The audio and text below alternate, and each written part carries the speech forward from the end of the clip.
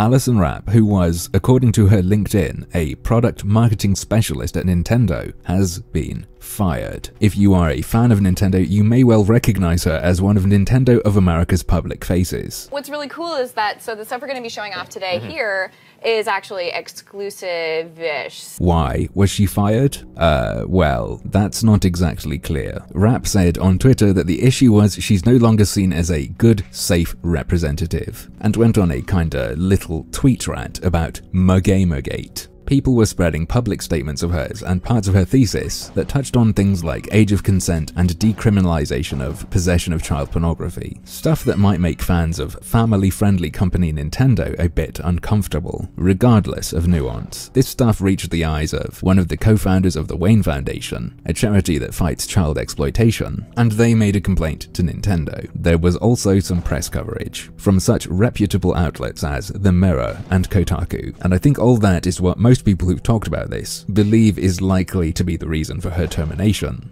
which I think would actually be reasonable simply because she is PR. They're giving her money to make them look good, and her employment brings association with child pornography. You know, you can't go, this is unfair, and it's nothing to do with what she does. There's all this hate, but she's the best damn programmer, artist, or whatever. Nope, there is no but there when your job is image. You give someone money to look good and make you look good, and they do the opposite why would you, why should you continue to pay them? If she had been in a different role, I'd likely be arguing differently. However, having said all that, defending that reason might be pointless, and I won't elaborate on my point any further because in a statement made to IGN, a representative of Nintendo has said that her termination has nothing to do with any of that controversy, and is instead about her violating policy regarding holding a second job that is in conflict with Nintendo's corporate culture. And Rapp has confirmed that she was doing something, which we might be getting back to later, but I personally suspect the controversy has something to do with it, but I doubt we can ever be certain. Now, I, th I think I've been uh, responsible, I've, I've laid things out, and I think I've been fair. You get what's going on, so let's have some fun.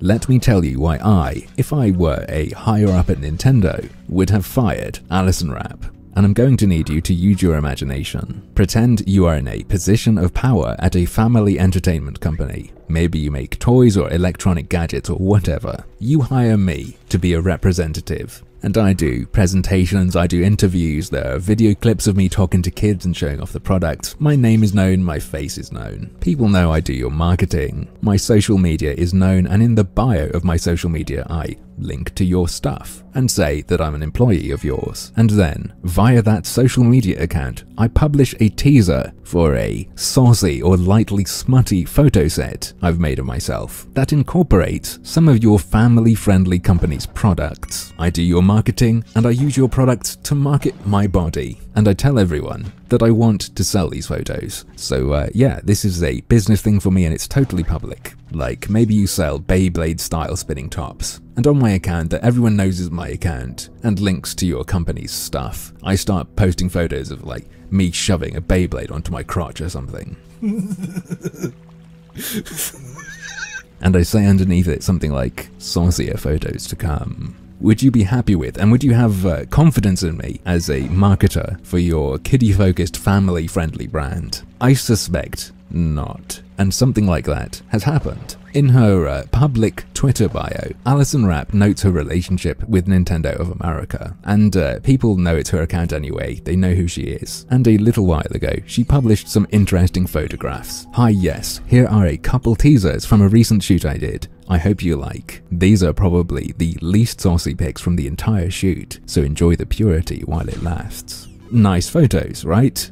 But what's that? Looks like some kind of DS. Under that post, she also includes what she calls a saucier shot and asks for advice on where to sell her pictures. Ooh. And someone just sent me another photo she posted with a DS. Another teaser, so you know, advertising, for the full thing, which she said on February 23rd she would try to make available as prints after her vacation. And as recently as the 25th, she was talking about getting a photo shoot up for sale. So, uh, yeah, when a marketer for Nintendo is posting photos with Nintendo products publicly on their social media that links to Nintendo of America's account and intending to sell them, and they might not really represent what Nintendo wants an association with, overall at least. Because I mean, I know they published Bayonetta and they had that thing with Playboy, but that was its own thing, and it was on Playboy's Facebook page, and it was, of course, official, just in case anyone's going to bring that up. When PR or marketing is doing what I described, there might be an issue. Anyway, let's finish my point off, let's bring this back in. If I'd hired someone to market and present stuff I was selling, and they went ahead and publicly meshed my stuff into whatever else